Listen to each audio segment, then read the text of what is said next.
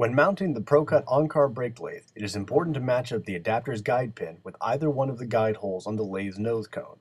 The lathe will screw into this hole. Here our demonstrator shows the correct way to mount the brake lathe, matching up the adapter pin and guide hole. Then the knob can be tightened smoothly and without resistance. Now we show an improper mounting. The pin and guide hole are not matched up and tightening the lathe is not smooth and our demonstrator has to fight with it. As you see, a large gap is left between the adapter and the lathe's mounting surface. Damage is inevitable.